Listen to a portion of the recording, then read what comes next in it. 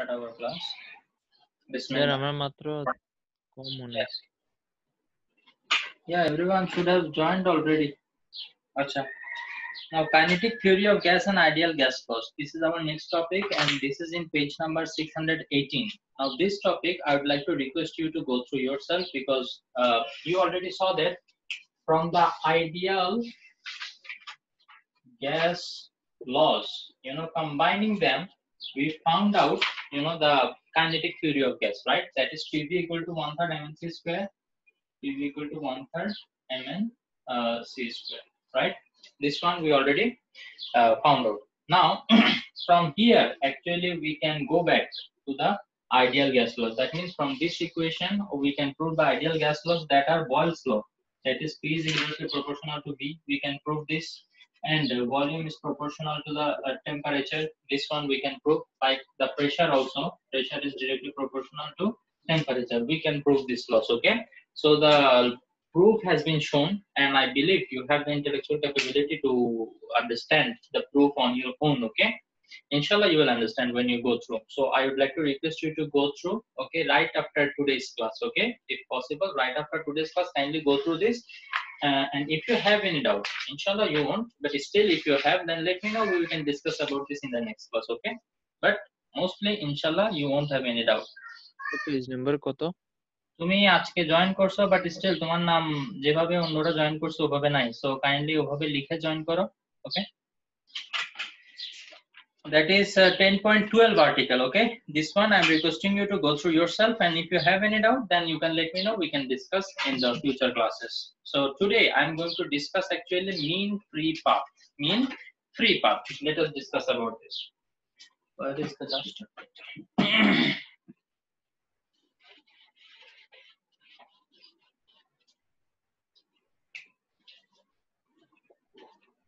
Now, as we are discussing mean free path, if you remember, we already discussed about free path. What is the free path? Okay, in the basic postulates of kinetic theory of gas, if you remember, there was, there was a point that uh, the molecules are in random motion and they get into collision with the wall of the container and other molecules, right? They get into continuous collision, right? The molecule collides uh, with wall then it collides with the molecule then it collides with another molecule then it might uh, you know collide with the wall again. So between any two collision there is a free path right? Between two successive collision there is a little bit path which is we call free path if you remember right? So what is mean free path? Okay? So actually we can calculate the mean free path. Mean means average right? So average free path somebody sent a message. Uh, page number, wait, oh, page number uh, 620, I guess. Let me check. 620. Hmm, 620. I will write it on the board.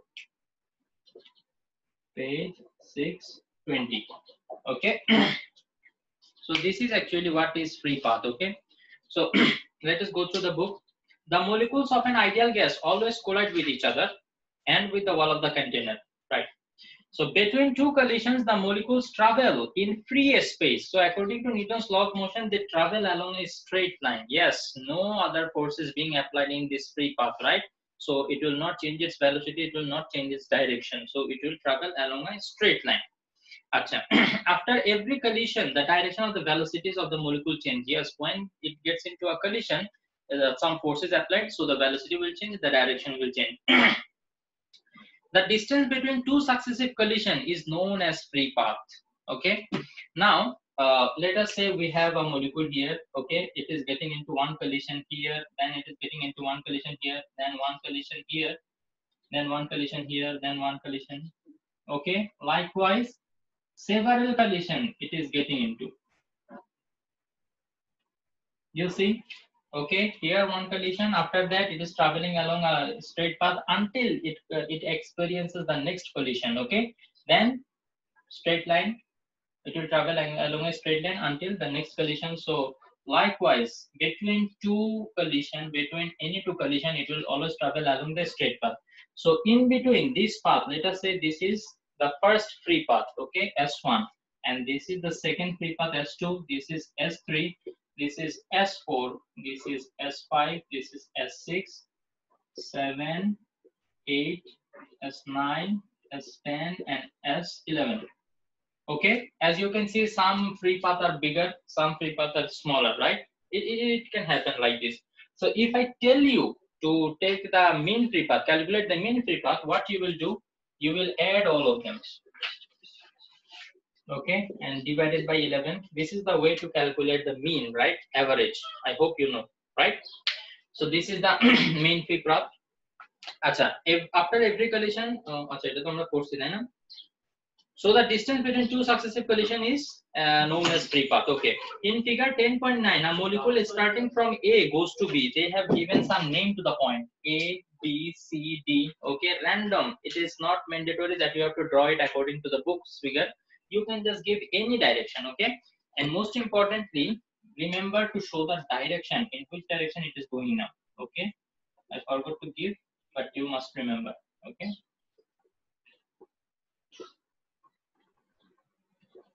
Okay so this is the direction it is going and you can name the points also a b uh, c d like that. You can continue to name right? Okay so a molecule starting from A goes to B and collides with another molecule and then moving along the path BC. It moves along the path BC and at point C again it collides with another molecule and goes along a straight path CD. This is the straight path CD. That this A, B, B, C, C, D, D, F, E, F, etc. Each distance is free path. Yes, all of them are free path because this is the distance between two successive collisions.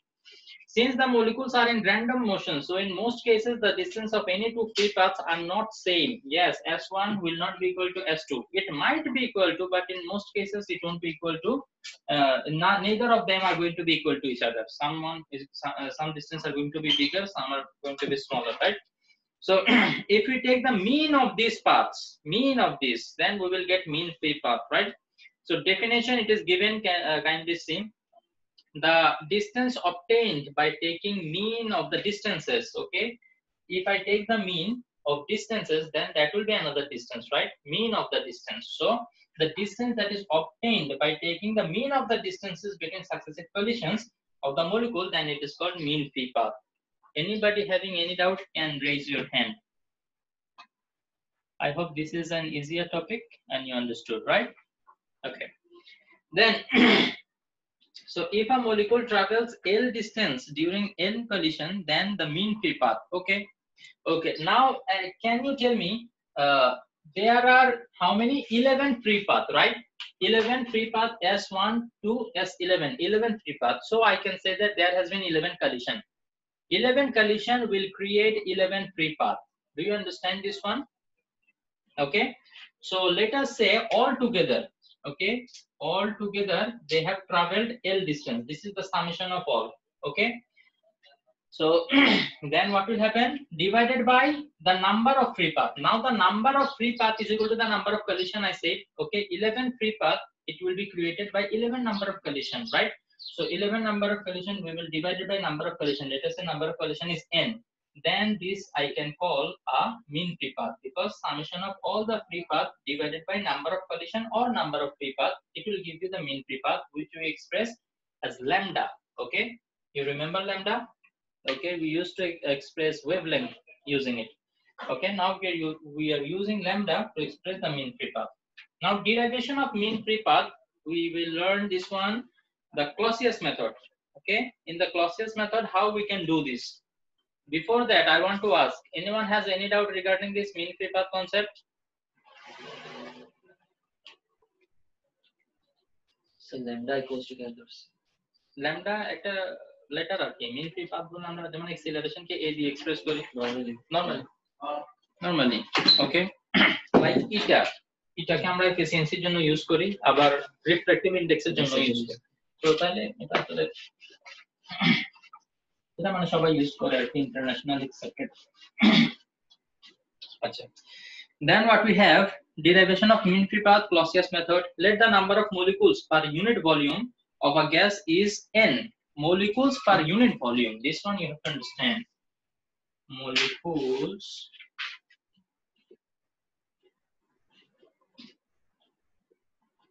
per unit volume That means per unit volume means in one meter cube. Okay, in one meter cube, how many molecules are there? N number of molecules are there. Okay, fine. And the diameter of every molecule is sigma. Okay, diameter. Are you familiar with the letter sigma? Okay, we write it in this way, sigma. Okay, so this is the diameter of the molecule. That means if a molecule is generally we consider the molecule to be a spherical shape, right? So uh, there will be a diameter, right? Okay, the diameter can be considered in this way or in this way. In both the case, actually, it is going to be this distance. Okay, this is the diameter. This distance is going to be sigma, or you can just show it in this way. Going to be sigma. Okay. Acha. Hmm. Then let me uh, clear. Acha, uh, we will see later. We consider the we consider for convenience the molecule whose mean free path is to be calculated is moving and all other molecules are at rest. Okay. So uh, to make the actually calculation a little bit simpler, okay, we will consider that uh, the molecule whose mean free path is being calculated. Okay, we will consider one molecule. So that molecule is in motion, other molecule are, are in rest. Okay, if we consider other other molecule are also in rest, uh, sorry, other other molecules are also in motion, then it will be much difficult to calculate, right? So let us keep it simple and consider that other molecules are at rest and the molecule for which mean free path I am calculating, that molecule is moving only. Okay, so this is an assumption. Okay, in figure 10.10, if you look at figure 10.10, okay, we are to calculate the mean free path of the molecule C that is in the middle. That is in the middle, right? So I will draw the figure here.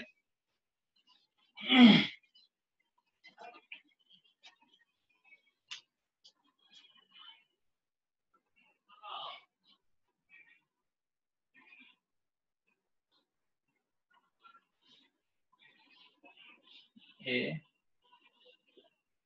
B, C.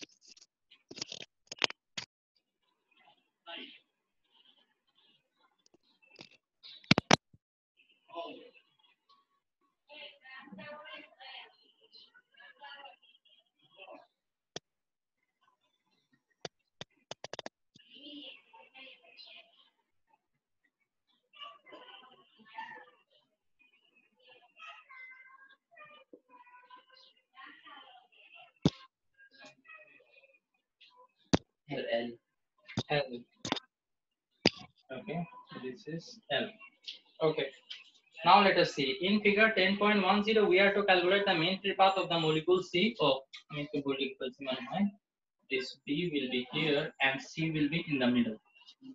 Okay. Acha.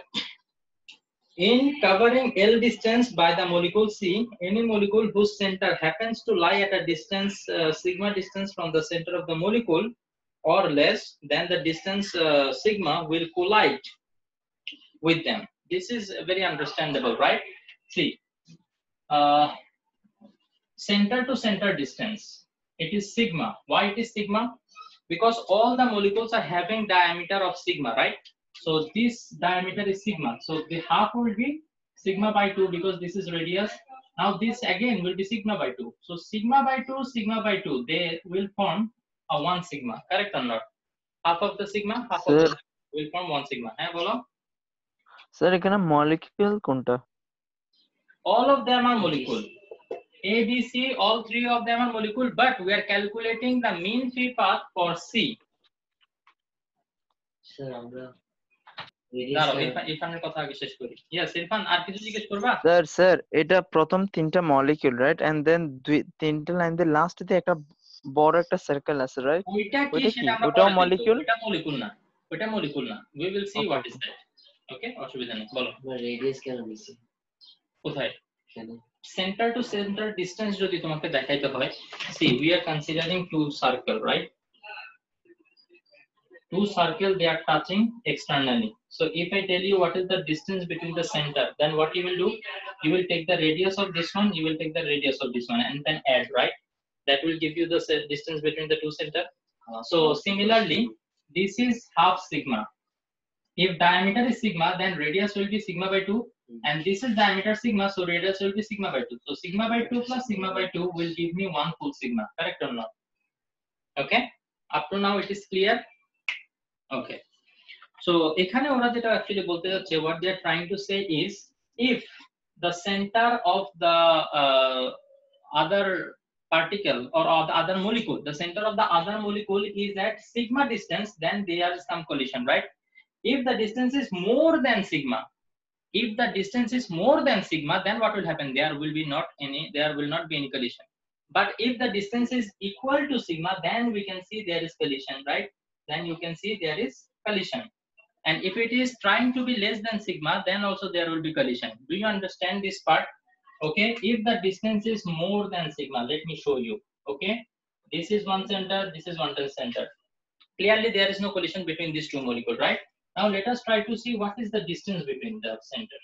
Okay, this is already this part is sigma by sorry sigma by 2 and this part is also sigma by 2 so sigma by 2 sigma by 2 already it is one sigma right and there is some more space. So the distance between them is sigma plus, more than sigma. Do you understand this one? The distance between the centers are more than sigma, then there will not be any collision. But if the distance between the two center of two molecule, if it is equal to sigma or less than sigma, then only they will experience collision. If the distance is more than that, there will not be any collision. Let's see. টা আসলে এখানে সম্ভব না। It will try to be less because less হইতে হলে কি হতে হবে জানো? এই দুইটা একটা একটা ভিতরে ঢুকে যেতে হবে। I hope you understand imagine right এই সিগমা হয়ে গেছে তাতে এটা কলিশন করতেছে তাই না? সো এর থেকে যদি কম হয় তাহলে তো এটা সম্ভব নয়। একটা মলিকুল একটা মলিকুলের ভিতরে ঢুকে যাবে। It is not possible okay just এটা একটু চেষ্টা করবে যে মানে ডিসটেন্সটা সিগমা থেকেও কমাই ফেলতে।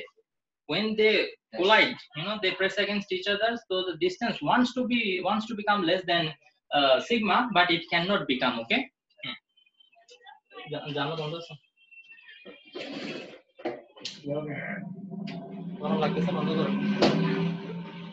Achha, okay. So this is what they are trying to say. I will read the line again okay? Achha, see. So in covering l distance this molecule is in motion in that direction right? It is covering l distance okay? So in L distance, while it is covering this L distance, any molecule whose center happens to lie at a distance sigma from the center দেখো তো এই যে এই centre থেকে sigma ডিসটেন্সে যেসব molecular centre থাকবে কি- হবে in the figure it is a and b so a and b এদের সেন্টারটা সিগমা ডিসটেন্স সিগমা ডিসটেন্স আছে ওকে ঠিক আছে or less than the distance sigma এই সিগমা থেকেও লেস হইতে চাইবে কিন্তু অ্যাকচুয়ালি এটা পসিবল না আমরা জানি then it will collide with the molecule so uh, that it will experience some collision right acha that is the molecule C will only collide with those molecules whose center will be within the cylinder of radius uh, uh, uh, radius uh, sigma and length L তুমি দেখো তো এই যে মলিকুলটা এখান থেকে এখানে মনে করো ট্রাভেল করে আসছে ঠিক আছে তো তাইলে এই সিলিন্ডারের ভিতরে এই সিলিন্ডারের ভিতরে যখন কোনো মলিকুল আসবে তখনই শুধুমাত্র এটার সাথে কলিশন হবে কারেক্ট না এটা দেখো এই আমরা যদি এই সেন্টার থেকে একটা লাইন ড্র করি এবং এই সেন্টার থেকে একটা লাইন ড্র করি, এই সিলিন্ডারের ভিতরে যখন ঢুকতে যাবে তখন এটার সাথে কলিশন হবে। বিকজ এটা এই বরাবর মুভ করতেছে, তাই না? এই সিলিন্ডারের ভিতরে যদি ঢুকে যায়, তাইলে আমরা কি করব? অন্য আরেকটা মলিকুলার সেন্টার যদি এই সিলিন্ডারের ভিতরে ঢুকে যায়, তাইলে তখন কি হবে? কলিশন হবে। এটা একটা সিলিন্ডারের মতো দেখা যাচ্ছে না। ওকে এন্ড সিলিন্ডারটার হাইট কত? হাইট হচ্ছে এল এন্ড রেডিয়াস কত? সিগমা তো তাইলে এখানে একটা সিলিন্ডারের মতো ক্রিয়েট হবে যে সিলিন্ডারের রেডিয়াস হচ্ছে কি সিগমা এবং লেন্থ হচ্ছে কি এল ঠিক আছে? এই সিলিন্ডারের মধ্যে যখনই অন্য আরেকটা মলিকুলার সেন্টার ঢোকার চেষ্টা করবে তখনই সাথে সাথে সেখানে কি হবে? কন্ডিশন হবে আমরা এটা বলতে পারি। হ্যাঁ? ওই তো বি এর সাথে হবে এ এর সাথে হবে সবগুলোর সাথে। হবে। বিকজ বি এর সেন্টারটা কি? এই যে এই সিলিন্ডারের ভিতরেই আছে। হুম। আচ্ছা তো তাইলে আমরা এখানে এটা কি বলতে পারি? That is the molecule C will only collide with those molecules whose center will be within the cylinder of radius sigma and L that means এই সিলিন্ডারের ভিতরে চলে আসবে তখনই সেটার সাথে এটা কোলাইড হবে নাইলে কিন্তু এটা কোলাইড হবে না তাইলে কি হবে সিম্পল যদি এটা বাইরে থাকে তাহলে মলিকুলটা দূরে থাকবে it will not experience any collision আচ্ছা the volume of this cylinder is pi sigma square L volume of this cylinder. Volume we can easily calculate, right? We know the formula to find out the volume of a cylinder that is pi r square L. R is the radius and le- L is the length.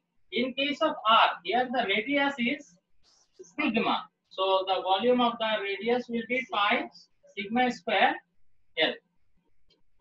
আমার আর আর sigma almost like the same same না আচ্ছা okay যাই হোক you understand this is sigma so this is the volume now, if number of molecules per unit volume be n, yes, 1 meter cube n chilo, then the total number of molecules in volume pi sigma square will, will be 1 meter cube in 1 meter cube, number of molecules was n.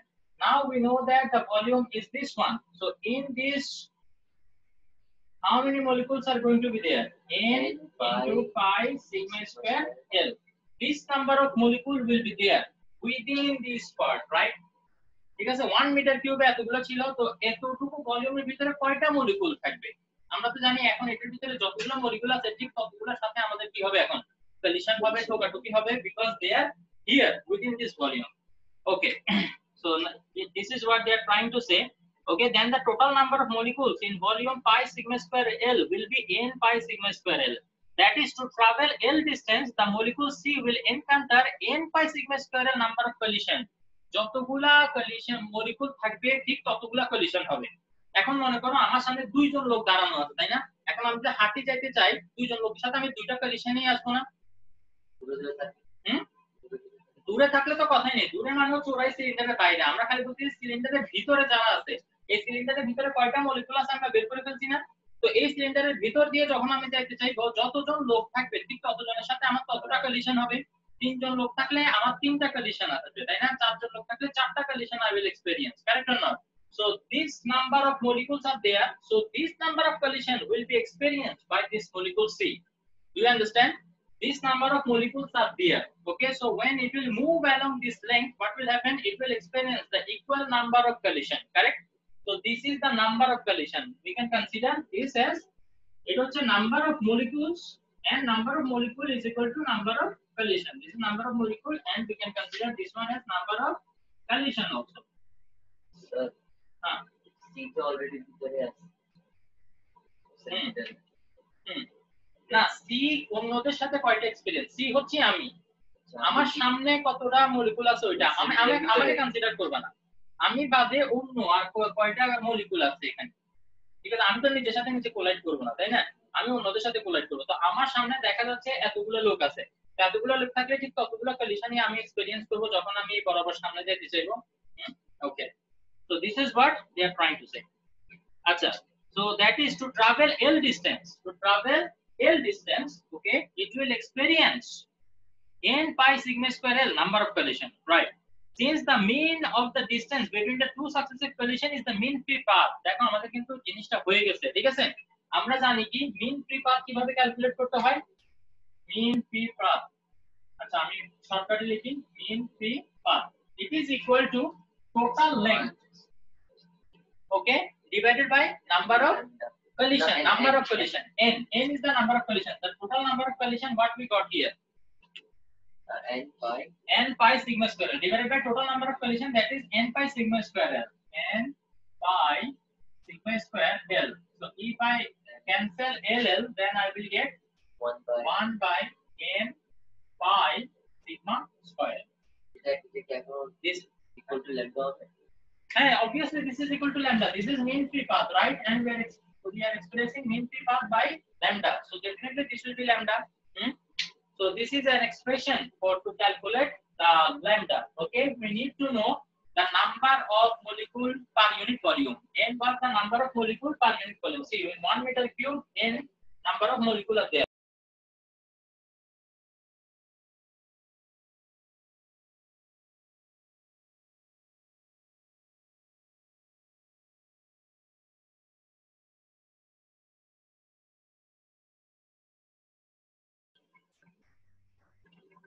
শুনে নেন suddenly off হয়ে গেছে না না এতক্ষণ বলছে ওই যখন off হয়ে গেছিল তখন কি হয়েছে? আচ্ছা ওকে যাই হোক so let us see so this is mean free path lambda is equal to 1 by n pi sigma square this is equation number 10.28. Lambda is equal to 1 by n pi sigma square. So this is equation 10.28. Up to this, anybody has any doubt? Okay, good. Nobody raised hand. Clausius determined this relationship between the mean free path, molecular diameter, sigma. Yes, this is the molecular diameter. Okay, the diameter.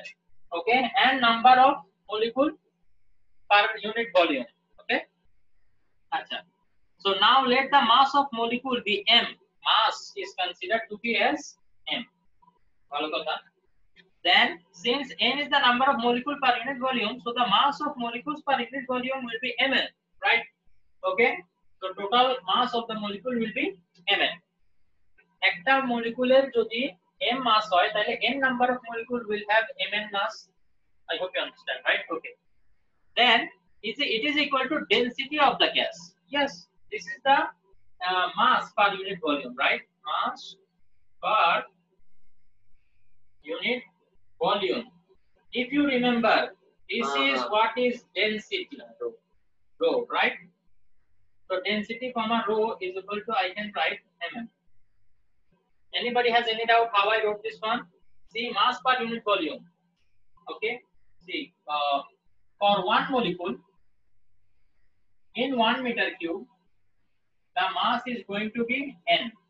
For n number of sorry m number of uh, mass One হচ্ছে M. mass হচ্ছে m, right? And now there are n number of molecule in one meter cube only. Okay, so the mass is going to be mn. So this is the mass per unit volume, and that is going to be our density. If anybody has any doubt, okay? Acha. Then what we will see density rho, right? So multiplying the numerator and denominator of the equation by m. Okay, the equation that we got here, we will multiply the numerator and denominator. 1 into m, it will be m. And if I multiply m in the denominator, it will be mn, right? So this mn can be replaced, this mn if you see, this one can be replaced by, I will show you lambda is equal to m divided by rho pi sigma square. So this is another expression, right?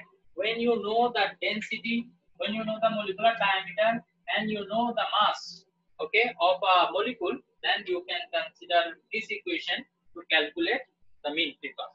and and it was Hmm, M into so six. a m or t m factor না এই M R N এটা মিলে rho হয়ে গেছে ওকে আমি যদি আবার কেটেই ফেলি তাহলে তো আমি আগের অবস্থায় ব্যাক গেলাম এই যে দেখো এম আর এম সাউথ মধ্যে কেটে দিতে তো কেটে দিলে আগে যেটা ছিল সেটাই তো তো আমরা নতুন কিছু পাচ্ছি না ঠিক আছে ওকে তো this is M by pi sigma square rho আচ্ছা from here if you notice this part we can consider to be constant the mass we consider this to, it to be constant right and sigma that is diameter that is also constant so lambda will be inversely proportional to the density very important for MCQ okay?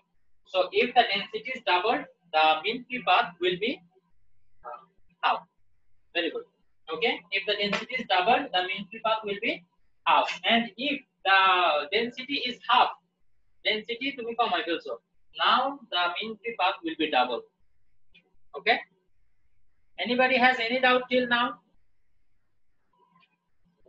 Hmm. Acha, okay how this thing is very hungry. I hope you are also hungry because this morning you are doing classes okay? So no problem. You can uh, keep it up to this today okay? Not much of portion we have left. Inshallah next week we will finish our first year book. Inshallah okay?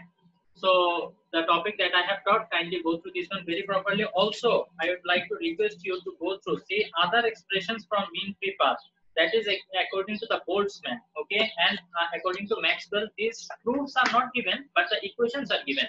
So you don't need to go through the proofs. Just uh, keep the equations in your mind okay? So that you can use it while solving the numerical problems okay? Acha. so if uh, there is no question then i would like to finish the class. Anybody wants to ask anything regarding today's class? Nobody Acha, okay. Let me take the attendance, please. If I forget, Zaman, kindly remind me, okay? I give you the responsibility of reminding me. Okay, sir. Okay. Thank you very much. See you in the next class, inshallah. Assalamu alaikum.